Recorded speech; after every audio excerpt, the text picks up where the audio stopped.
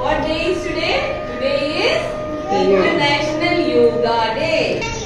Very good. Yoga keeps our body and mind strong.